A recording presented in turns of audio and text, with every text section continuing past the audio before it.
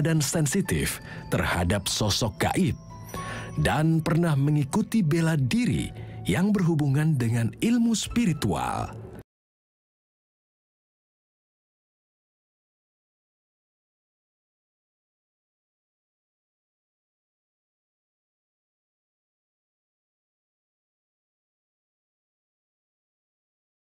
Sesensitif apa sih Mel? Wah, kalau misalnya bicara soal sensitif, sensitif nih. em, kebetulan aku mengikuti suatu bela diri pencaksilat. Nah, dimulai dari itu awalnya. Oke. Karena mungkin ada beberapa yang harus aku lakukan sehingga akhirnya aku bisa sesensitif. Wow, berapa tahun kamu menekuni martial arts ini, pencaksilat? Sudah lumayan lama, sekitar lima tahun lebih. Lima tahun Lima lebih tahun lumayan lebih. lama ya. Lalu pengalaman-pengalaman apa saja? Apakah memang ilmu seperti apa? Uh, tenaga dalam yang kamu punya? Benar sih. Tenaga dalam, awalnya mulai dari tenaga dalam, aku harus eh, memulai untuk lebih relaks eh, dan harus menerima apa pun aura yang ada di sekeliling aku. Dan itu membuat aku lebih sensitif. Dan kebetulan rumah aku itu ada di tusuk sate bisa dibilang. Iya, lebih peka tampaknya. Silakan Roy, tanggal lahir berapa? Saya memilih angka kelahiran nomor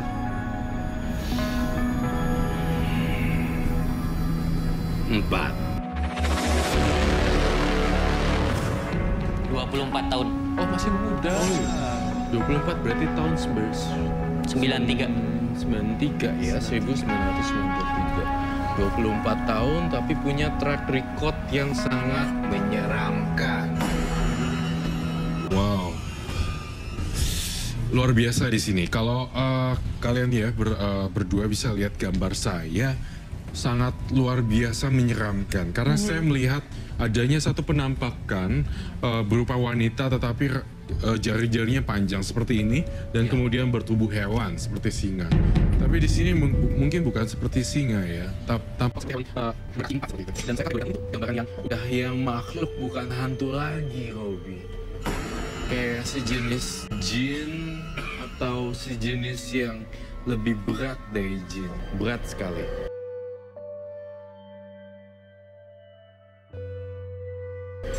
Jadi kalau saya ngelihat eh, tanggal 4 bulan 9 tahun 93, 24 tahun Mas Yayan.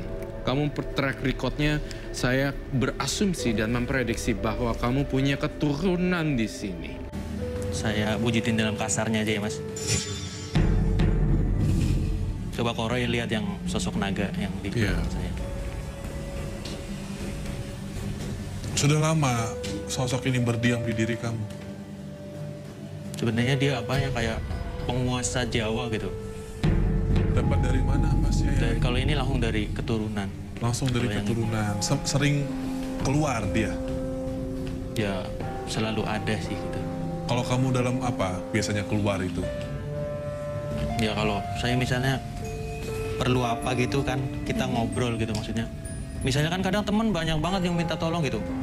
Ini kok orang sakit-sakitan gitu. Pasti ngirim foto ke saya. Baru saya lihat oh itu ada makhluknya ini ini, ini gitu. Lalu tujuan datang ke karma apa yang harus saya bantuin? Hmm, gimana ya? Nunjukin eksistensi? gitu. Apa? Nunjukin eksistensinya? Bukan, bukan. Atau apa yang harus saya lakukan? Apakah ada karma buruk gitu mas Roy buat saya? Karena apa? Kalau makhluk yang ini bisa diceritain nggak mas? Yang digambar gitu. Oh yang digambar sama Roy. Ya. Ini diceritakan awal mulanya gitu ya kok. Kalau ini sih belum lama. Sebenarnya ini ada teman saya, maksudnya saya disuruh ngirim makhluk ini ke seseorang sebenarnya. Oh kamu bisa ngirim-ngirim gitu? Maksudnya cuma santet? Bukan, ya bukan santet kita makhluk. Tapi saya jarang ngirim gitu. Terus kenapa kamu kamu lakukan pengiriman itu? Saya lakuin. Dan maksudnya biar dia sadar dulu. Kalau dia udah ada sadar, baru kita tarik lagi gitu. Aduh. Iya, jangan gitu. Boleh. Walaupun orang punya kekuatan-kekuatan seperti itu tidak usah digunakan seperti itulah. Itu dosa besar. Iya. Iya. Mungkin kamu juga saya lihat kamu masih umur 24 tahun punya ilmu seperti itu berasa kayak seperti apa terus kirim-kirim itu sebenarnya saya tidak setuju loh. Sedih juga. Kalau yang ini sih sekali doang mas gitu. Maksudnya temen kayak maksa saya kasihan sama dia maksudnya dia kayak dihantui dia mulu gitu. Maksudnya. Kayak dendam Sosok ini kamu kirim ke siapa? Ya dia cuma ngeliatin foto udah saya tarik saya masukin ke foto. Tapi kamu nggak tahu itu siapa. Ya dia cerita dulu masalahnya apa maksudnya. Kan dia maksudnya orang itu kan bawa maksudnya kayak bawa HP-nya dia gitu belum dibalikin. Ya pasti kan keinget-inget terus kesalahan dia apa baru dibalikin. Ya udah kita tarik aja makhluknya. Kalau Mas Robi bilang kamu sekarang tergolong dukun santet, marahkah? Ya nggak masalah sih soalnya itu real gitu. Memang iya. Memang Beda iya. sama santet Iya. Kalau santet kan memasukkan apa benda. Benda. Kalau ini kayak itu apa? kirim makhluk biasa gitu. Makhluk ini memang nggak biasa tuh, Dek. Iya makhluknya nggak biasa itu luar biasa eh, luar biasa mengerikan gitu loh. Oke, Saya- terus apa Roy? Ya saya lagi mencoba mendeteksi lewat gambar terus. Lalu ilmu-ilmu ini dapatnya itu dari mana? Belajar Nah, dari teman belajar. kos-kosan itu? Awal mula kan sering nongkrong lah ya. Ada temen itu kena korban pesugihan.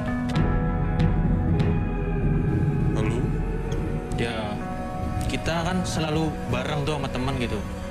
Ya selalu ngadain kumpulan tiap malam Jumat sih ngaji bareng gitu. Tiap malam Jumat. Ngaji bareng. Ya ngaji bareng tiap malam Jumat. Kita ada guru spiritual juga tapi dari gaib. Ini agak bertolak belakang ya sama kegiatan teman kamu, teman-teman kamu. Malam Jumat ngaji bareng. Ya, Malam Sabtu ngirim beginian. Enggak, kita nggak pernah maksudnya ngirim itu kemarin karena kita apa kasihan sama dia maksudnya dia bawa kabur gitu. Tapi sekarang sih alhamdulillah udah dibalikin makhluknya udah ditarik Ya, juga. ap- apa pun alasannya nggak boleh ya. Nggak boleh ya. Gini ya. Tidak boleh. Oke, awalnya berteman dengan teman-teman sepengajian. Bukan, kita ngadain pengajian setelah bertemu maksudnya kita kan nggak tahu nih kita siapa gitu. Kita nongkrong doang di suatu tempat. Banyak orang yang kesurupan gitu. Awal mula saya nggak bisa apa-apa, ngobatin orang kesurupan juga nggak bisa. Saya coba pegang tangannya doang kan lama kan banyak orang ngeluarin nggak bisa. Saya pegang tangannya doang begini keluar gitu.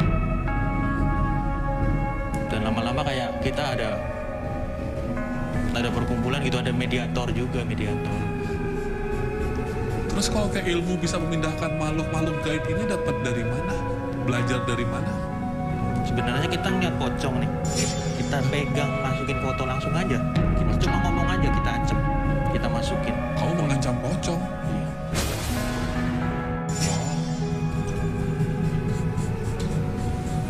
Yang dilihat mata aja diancam dulu. Nah, oh berarti ini tanpa berguru ke mana pun, kamu udah bisa aja gitu? Iya.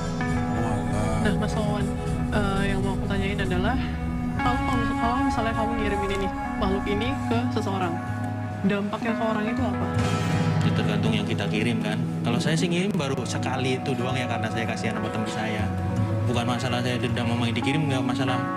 Dia orang lagi nggak ada duit gitu, sampai HP-nya tuh dibawa kabur gitu.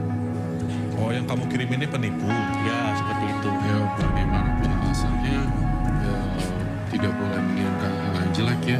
Biarkan penipu dapat karmanya sendiri Iya. tanpa kamu harus campur tangan. Kalau orang berbuat salah, biarkanlah dia berbuat eh, berbuah karma buruknya sendiri tanpa kamu menanam karma buruk lagi untuk orang lain. Mungkin sebenarnya eh, saya mengerti Mas Yayan, kamu mungkin usianya masih muda ya, jadi masih labil, jangan terbawa. Ujuk-ujuk langsung ini. Ini penipu ini harus dikirim. Udahlah nggak usah. Kita main main aman aja. Apa yang kamu tanam nanti akan kamu tabur. Mas. soalnya lihat dari bentuk-bentuk badan kamu kamu punya emosi yang apa ya eh, eh, you know what like kayak show it's not show off tapi kayak nggak show off juga tapi kelihatan itu gitu ya. Kayak eh, apa sih namanya?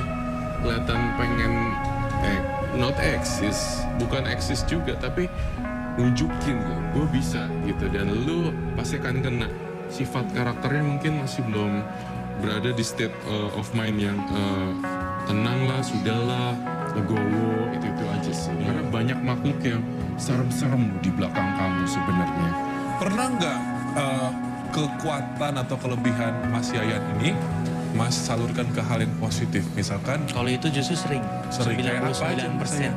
Apa? 99% ke Kayak apa aja kira-kira untuk membantu orang lain? Kayak Roy ini kan dia punya kelebihan. Memang Roy bukan dukun atau paranormal ya, Iya. tapi dia bisa bantu orang dengan kemampuan indigonya. Kalau Mas sendiri apa sih yang Mas lakukan untuk positif? ya kayak tadinya kan kita nggak tahu ya kayak kita apa belajar begini sampai serius tuh awalnya karena teman kita ada yang jadi korban pesugihan Belajar. Tadi kan korban pesugihan Iya. Belajar apa enggak belajar Pak Mas Yayan? apa Belajar. Tadi katanya nggak belajar. nggak belajar maksudnya dari perkumpulan ini Dari gitu. perkumpulan ini saling belajar, Mm-mm. satu sama lain bukannya belajar tapi kayak sharing "Oh, gimana ilmu. ide sharing sharing ilmu Belajar juga ya. Belajar juga aja. sih. Oke lanjut, lanjut. Apa? Positifnya apa? dia kerja di orang malah sama orang kayak buat korban tumbal gitu temen itu waktu itu Punya teman. Ya perempuan perempuan kan kerja sama orang tapi dia malah dijadiin tumbal Oh punya teman. ya Jadi Serumpun, bisa dibilang gitu. Ya. Dia dijadikan tumbal sama majikannya. ya Terus? ya kan kita mau nggak mau kan ngerelain dia gitu ya kita lawan aja makhluk-makhluk yang di pesugihan itu total makhluknya waktu itu kalau nggak salah ada 14 Aneh banget ya. Jadi Mas ini sama teman-teman Mas Yayan datengin si temanmu yang mau jadi korban pesugihan ini. Lalu kalian bersihkanlah dia gitu. ya Ada lagi mungkin ada yang punya penyakit, kamu bantu. kalau penyakit ya Kayak apa? ya kebanyakan sih kayak kiriman-kiriman mas karena saya kan bisanya hal seperti itu doang gitu Penyakit-penyakit gaib ya. Iya. Kalau kiriman makhluk ya, tapi kalau saya kiriman kayak santet hal kayak paku masuk ke tubuh saya sih belum pernah. Belum pernah jumpa. Kalau makhluk makhluk kan gitu kita ada mediator nih. Misalnya orang nggak mau kita ngobrol langsung kan bisa dimasukin mediator ditanya. Misalnya makhluknya apa? Kan ngomong kamu siapa yang kirim baru tahu. Emang sih nggak belum pernah saya nemuin kasus makhluk kiriman tuh nyebutin siapa yang kirim belum pernah. Paling kita suruh begini doang apa? Mau Pergi. pergi nggak gitu. Tiga kali nanya misalnya nggak pergi ya udah kita musnahin. Musnahinnya pakai apa? Sebenarnya kalau kita jin itu bisa baca lagi. Kita baca ayat dia baca lagi. Lebih lebih fasih. Iya. Nah jadi apa? Metodenya penyembuhan ini gimana? Ya karena kita kan banyak sharing, banyak belajar gitu. Sebenarnya setiap jin tuh ada kelemahannya masing-masing. Ya kalau makhluk yang biasa ya paling kita langsung gorok lehernya. Gorok leher orang. Leher makhluk. Leher mau. Iya. Goroknya pakai apa? Pakai sama aja kayak misalnya pedang atau apa. Tapi Pedang? yang dalam bentuk gaib lagi visualnya. Pedang gaib. Kayak Star Wars itu ya. Iya.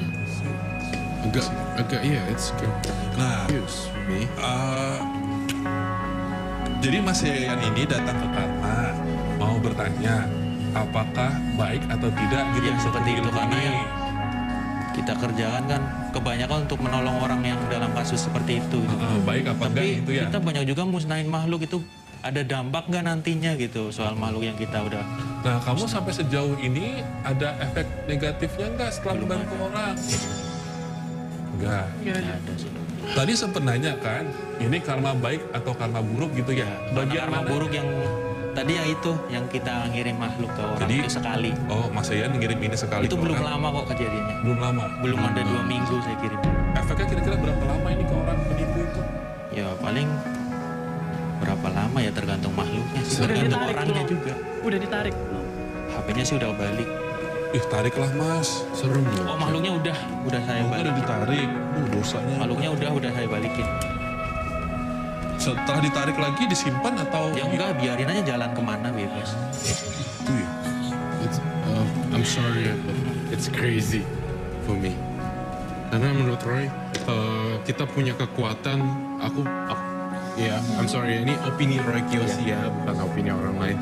Kalau kita punya kekuatan, kita punya bisa penglihatan apa, kita bisa kirim apa, uh, sebaiknya lebih ke humble, lebih low profile gitu ya. Jadi gak usah kirim, Show off.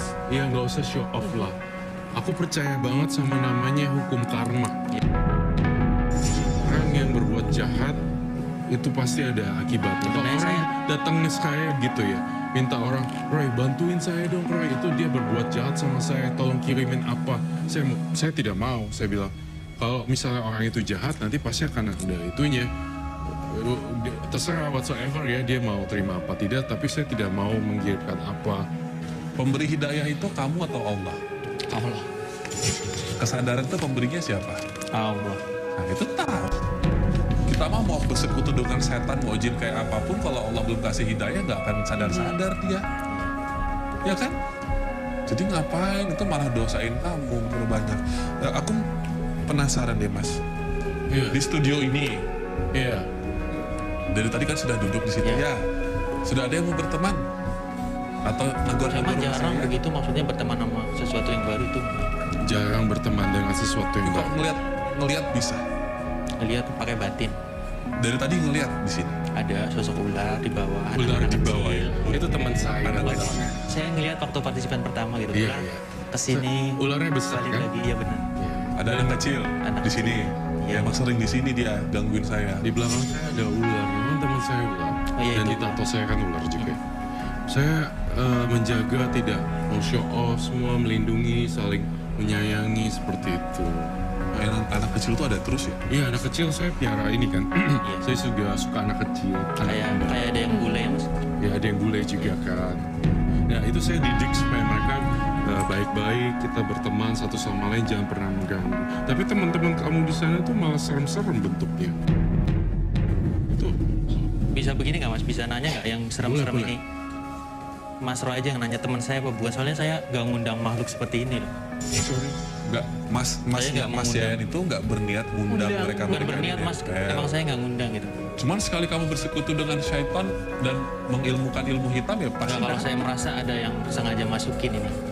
Oh, kamu menuduh seseorang. Bukan menuduh, maksudnya ada yang Kamu iya, Tapi itu emang kiriman orang kayaknya emang bawaan dia atau gimana? Ditanya coba mas. dia juga. Lagi pula apa yang kamu tanam itu kamu tuai kan. Kamu pernah kirim akan dikirim balik. Segala sesuatu tuh tanam jeruk akan tumbuh jeruk. Jangan sampai nanti nih kalau udah tua biasanya tuh karmanya kalau udah karma buruk suka nih suka ini dan emosian kalau punya kekuatan ntar nanti malah nutup pintu rezeki apa segala macam repot loh sedih loh nanti ya saya cuma pengen kamu jadi anak yang baik walaupun punya kekuatan nggak apa-apa it's okay tapi Sebenarnya eh, kalau apa mas? Kalau iya. di depan umum sama sekali nggak ada yang tahu kalau saya begini. oh Orang tua? Orang tua ya biasa aja kan. Orang tua tahu. Nggak. Mereka melihat Mas Yayan nggak apa-apa. Nggak tahu orang tua. Oh nggak tahu. Nggak tahu. Tadi katanya keturunan. Orang tua Turunan main. itu sebenarnya bukan dari orang tua kan dari leluhur, leluhur, leluhur. Itu Tapi orang tua nggak menekuni. Enggak orang tua. Mas Yayan, dari hati kamu paling dalam nggak pengen punya kehidupan normal anak 20-an aja ya? iya Yang nonton konser. Sebenarnya kehidupan saya game. normal gitu, nonton konser, main game gitu. Kalau hal seperti ini kalau ada orang yang minta tolong doang sebenarnya sih mas. jangan Sebenarnya saya tertutup orangnya. Untuk hal seperti ini nggak pernah cerita ke siapa pun gitu. banyak banget loh dari tadi saya gambar sampai 100 lembar loh ini Ini udah tiga gambar. oh iya ya tiga ya. Baru tiga loh Roy. oh iya Emang seberapa banyak? Yang gitu? sebenarnya banyak sekali di sini Tapi Roy emang lihat Mas Na- Yayan ini bisa punya itu ya kemampuan itu. Iya, iya, iya. Tapi salah, eh, gini, dia bukan menyalahgunakan, tetapi belum mengerti bagaimana memposisikan diri kita nih. Kita lagi bergaul sama teman, kita lagi bergaul sama temen yang nggak kelihatan. Bahwa harus tune, tune on, tune, tune off gitu, gimana bedain temen yang jangan jadiin satu gitu, jangan juga kayak misalnya aku gitu kan, I'm show off gitu, no, itu malah jadi malu loh sebenarnya. Aku malah kalau ada orang yang berkoar-koar gitu, eh Roy lu punya kekuatan, aku malah yang diem, oh ya, oh ya gitu aja. Roy aja nyesel dalam satu tayangan pernah ngerjain Vicky. Ya, Dia nyesel tahu dia menebus kesalahan itu dengan menyantuni anak yatim Iya, piatu. Eh, Roy ini Ya, apaan sih yang eh, kamu lihat? ini kendi, ini kendi. Emang Eh, di rumahnya kalau saya mendetek di kepala saya dia punya barang-barang antik Sebelum saya bahas itu saya ingin membahas makhluk-makhluk yang saya gambar dulu ya. Tolongin ini. Let me help you. Ya Allah, serem-serem amat ya. Sebentar ya. Bentukannya hewan-hewanan semua nih. Ya, Ya. kayak pusing tuh. Di sini energinya negatif. Kamu tadi sempat mention nangkep pocong ya? Nangkep pocong. Tadi. Pocong di threat sama dia diancam. Ya, Enggak. Cuman pocong lewat saya nyoba doang gitu. Sebenarnya enggak. Cuma ngeliat pocong doang sosoknya ngeliat. Tapi said that, um, tadi aku dengar kamu ancam pocong. bilang, Itu maksudnya saya jelasinnya gini mas. Misalnya saya gimana ngirim makhluk gitu ya kita tinggal panggil kamu ke sini misalnya ya sama aja kita nangkep gitu. nangkep. Kamu bilang nangkep. Misalnya Kayak kamu mau nggak ikan begini? gitu. I'm really tired, you know. I'm so sorry. Tapi beneran, Ray asli, aku gak, aku gak, gak berusaha jadi seseorang lah ya untuk nasihatin kamu. Tapi keputusan ada di tangan Iya. kamu aja. Well, kalau aku terus kasih kamu advice, saran, tapi kamu juga orangnya masih meledak-ledak. Ya, Ini baru tiga da- dari belakangnya. Berapa banyak yang gue lihat? Saya ngelihatnya ada 10 sebenarnya. Gak kuat saya gambarnya karena banyak unsur negatif. Saya juga melihat sebenarnya di belakang dia ada kakek-kakek bersorban. Padahal itu yang baik. Sebenarnya bisa dijadikan baik atau bisa dijadikan tidak baik. Itu it's depend uh, dengan uh, dia punya ini apa uh, pribadi. Saya aja ngobrol nih ya sama kamu ya. Saya nggak ngapan loh bahwa saya pengen kasih advice tapi kamu punya aura uh, yang di iya deny gitu ya. Enggak nih gue masih kayak gini kayak punya prinsip idealisme yang nggak mungkin sulit untuk sulit iya mungkin it's matter of time ya mungkin bak waktu suatu saat nanti kamu jadi dewasa mungkin baru ngerti lah itu kalau nggak balance nanti kan kamu jadi sakit sendiri Bapak ibu masih lengkap. Masih. Nanti saya mereka kok curiga ya di badan dia ada bawa sesuatu loh Amel Benda yang kamu gambar tadi. yeah there's something wrong with it. like he's bring something in like kau bawa sesuatu. Ada mas. coba Apa yang kamu bawa? Iya. Wow, itu punya kamu.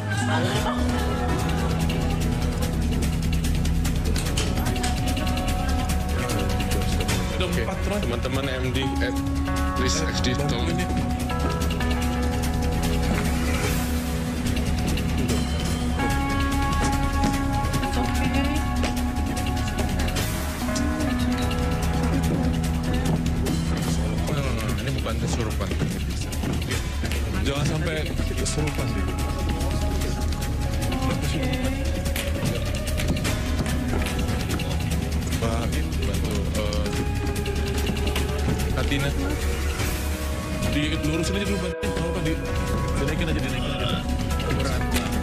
Sih berapa? Iya, empat. Itu ini. dia ada lagi yang samping. Angkat yuk, bawa yuk ke ruangan ini. Empat, empat, empat, empat. Ya, ya, kamu bawainnya. Empat di sini. Mas, mas. Apa-apa. Apa-apa. Ini agak jauh,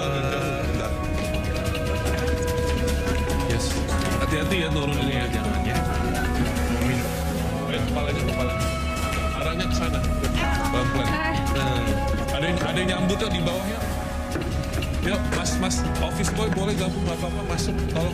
Pelan-pelan. Oke, oke. Bawah, berat ini. Kamu, eh, Ayana, Ayana, tolong dong. teman-teman balik ke nomor masing-masing ya. Udah, udah, udah. Jangan terpengaruh, jangan terpengaruh ya. Oh.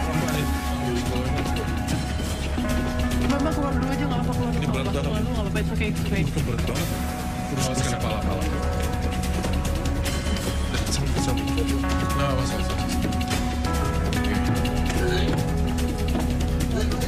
Ya. Keluar.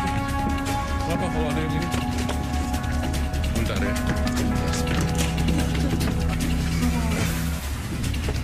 Yang ini aman. Minta itu dong, eh, aku punya ini. Hah? Jangan ngomong ya. Jadi jangan bengong, ngobrol aja nggak apa, ngobrol aja nggak apa, jangan bengong. Bapak ibu sini juga jangan bengong. Oh my god. Kembali ke tempat duduk masing-masing ya. Terima kasih. Makanya nih, Sering kejadian. Ada buyar sih. Duh, Ini aja baru begini ya. Udah kolaps. Kita mau apa? Mau break dulu atau apa teman-teman? Boleh? Tim atau apa? Atau Roy harus tanganin dulu atau gimana? Udah. Lanjut. Lanjut. Kita cuma saja. Sepertinya ada bentrokan energi ya. Kenapa? Ada bentrokan energi. Kurang tahu saya. Kalau saya boleh tahu apa isinya di situ, boleh buka kah? Boleh sih. Kamu yang buka. Jangan, ja- jangan, jangan, jangan, jangan, jangan, jangan, jangan, jangan, saya, saya, jangan, jangan, ya, jangan, karena Kamu- jangan, jangan dibuka. Saya takutnya, saya jujur dulu tanya, saya jawab, tanya, saya tanya, anda jawab masnya. Itu benda tajam. Dalamnya sih kuningan bukan tajam. Benda tajam. itu pasti benda tajam. Hmm, tetap benda tajam bentuknya golok. Iya, Tapi jangan. isinya. Saya takut kamu kerasukan, No way. takut banyak Ya, di sini oh jadi korban. No. Jangan dibuka. Jangan dibuka. Ya, saya takut kamu ada apa-apa di sini. Korbannya nyawa bisa. Ya. Sekarang saya pengen tahu, masnya bawa benda pusaka ini ke mana-mana atau hanya nggak pernah. Nggak Baru pernah. kali ini dapatnya juga belum lama sih. sepusaka apa ini yang lo lihat? Sepusaka pusaka turunannya sepertinya. Keturunan. Keturunan. Jadi sebenarnya saya kasih dua pilihan ya, Mas Yayan. Balik lagi, apa yang bisa saya bantu buat Mas Yayan? Untuk merubah untuk menjadi lebih baik lagi gitu. Oke, merubah untuk menjadi lebih baik lagi bukan tugas saya, tapi kekuatan pikiran kamu dan pribadi kamu yang jauh lebih baik. Belajar dari pengalaman. Iya. Dan kalau bisa diusahakan, kamu kan masih muda. Kamu belajar-belajar ilmu yang berhubungan dengan ini, apa ibadah, kamu baca buku-buku tentang eh, apa namanya eh, keimanan, sholat, bagaimana seperti itu. Kalau aku Mas Yayan, ini kan usianya usia mau menjelang dewasa nih ya. Udah bekali aja dengan ilmu, mempersiapkan diri menjadi kepala keluarga. Karena kalau kamu bekalin begini terus nanti kamu menikah istri kamu jadi korban. Entah itu korban apa, tumbal, kamu pukulin, kamu apain, entah belum pos kamu lagi kesurupan. Ya, Iya. yang real aja lah yang menghasilkan uang apa, tapi bukan berarti dengan menyantet orang. Iya.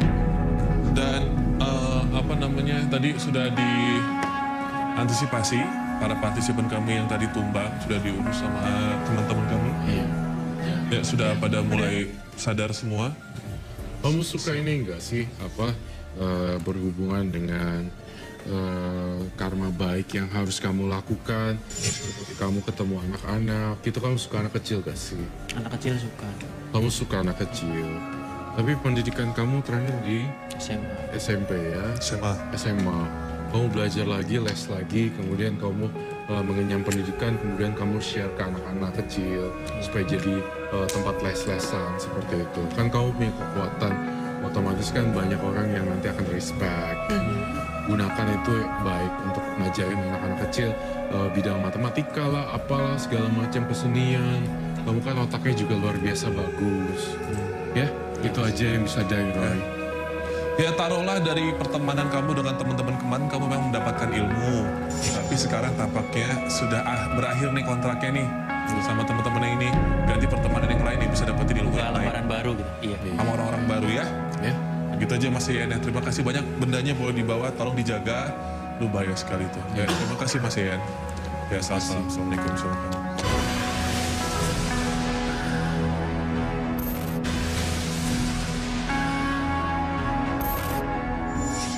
Kita menuju ke partisipan kita, Ray. Sudah siap? Sudah, Robi. Silakan.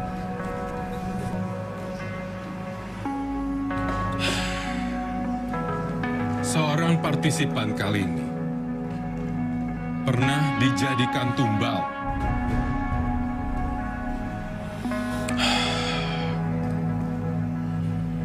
Kehidupannya sangat kacau sekali.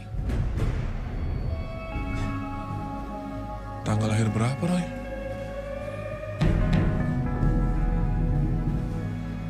Ya, saya memilih angka kelahiran nomor tiga.